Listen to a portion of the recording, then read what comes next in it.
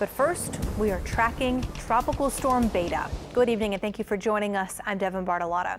Yesterday, Three new storms were named in the tropics, moving us into the Greek alphabet. So let's get a quick check on your weather with your local weather expert, meteorologist Alexandra Cranford. So much to watch, it seems, Alexandra. It never stops. Everyone's sick of it. I know. Everyone's like, no more tropical stuff. We don't want it. I know. But today's rain, of course, was associated with Tropical Storm Beta, which is hovering south of the kind of central Louisiana coast. And notice a few things. Uh, it is still bringing rain to southeast Louisiana, and we can hear it right here in New Orleans. But we're not seeing as many thunderstorms right around the center at this point. Those have kind of died down, so we will see. But it does look like that wind shear that has been directing a lot of the cloud cover and the showers toward us is continuing, and we will see whether it uh, continues to weaken it or whether the dry air continues to weaken it as well.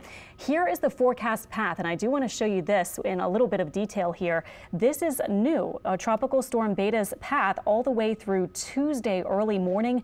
Notice that it is probably going to get we've been saying close to the Texas coast, but look at the new track. It brings it way inland, a little farther inland than it had even earlier today and even earlier this afternoon. So it now has it maybe as a rapidly weakening tropical storm somewhere to the west or southwest of Houston by Tuesday. And then that could be a good thing because it means that it would be a much weakened system as soon as really it moves over land. These tropical systems, of course, tend to decrease in intensity after that happens.